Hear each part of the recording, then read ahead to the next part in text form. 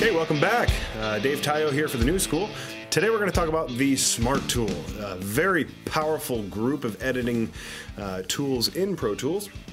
Uh, let's jump right in. The shortcut F6 is going to bring you to the trim tool, and I'm going to have mine on the standard trim. There we go. F7 is the selection tool, and F8 is the grabber tool. Uh, if you press any of those two keys at the same time, it's going to highlight what's called the Smart Tool. Um, you can come up here with the mouse uh, and click uh, to select your tools, or you can click this little bridge that goes over them. Gross. I'm using the mouse. Ugh, gross.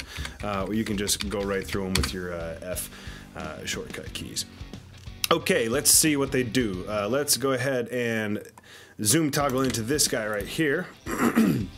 And if I wanted to, uh, where's my overhead? There it is. Okay, so if I wanted to, uh, let's say, fade in this clip right here, I can move the mouse up into the, oh, there must already be a fade. Let's take a peek. There is, even closer, look at that. Okay, so I'm just gonna get rid of this fade real quick. There we go.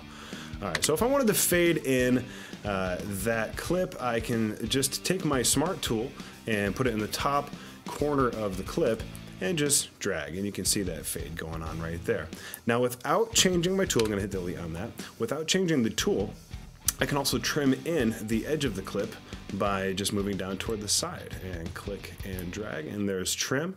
I can select the clip, again not changing the tool, moving my cursor down toward the bottom of the clip going to go ahead and move that over a little bit and uh, I can also make a selection by having the smart tool uh, toward the top of the clip just like so.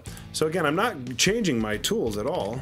Uh, I'm having all of them on Smart Tool. So I got the fade, uh, I've got the trim option. I can grab and move. I can make a selection. I can do all that stuff with one tool. It's called the Smart Tool in Pro Tools. That's the word tool a lot. Okay, until next time, I'm Dave Tyo for the New School. Thanks.